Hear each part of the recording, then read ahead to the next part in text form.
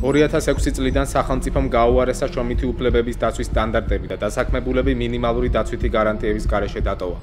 2011-2015 წლებში საწარმოო შემთხვევების შედეგად დაშავდა 691 და დაიღუპა 212 ადამიანი.